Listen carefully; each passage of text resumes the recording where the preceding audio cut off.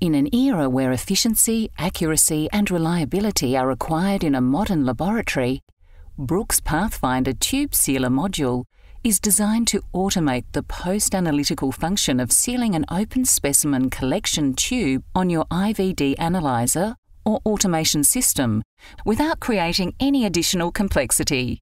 Foil sealing a tube is a great alternative to using a push on cap to reseal an open tube.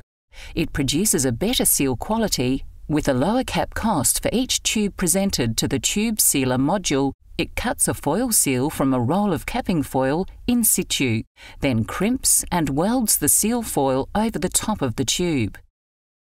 It can seal a range of plastic tubes from 12mm to 16mm in diameter and from 65mm to 120mm in height.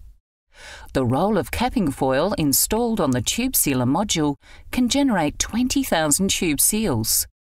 The Pathfinder tube sealer module incorporates some groundbreaking changes to the way tubes have previously been sealed. It is the only system on the market that is fully electric, removing the need to use any pneumatics or vacuum, keeping the automation process simple.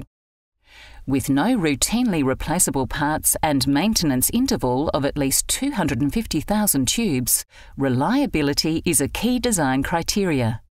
The Pathfinder tube sealer module also uses a completely new heat transfer mechanism to weld the foil seal to the top of the tube, significantly reducing energy usage, improving user safety, being not hot to the touch, and lowering operating costs.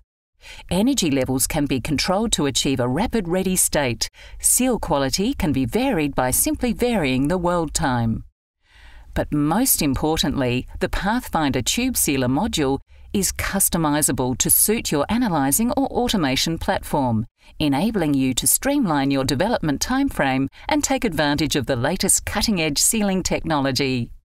You can deploy the Pathfinder Tube Sealer module with confidence, knowing that we are with you every step of the way.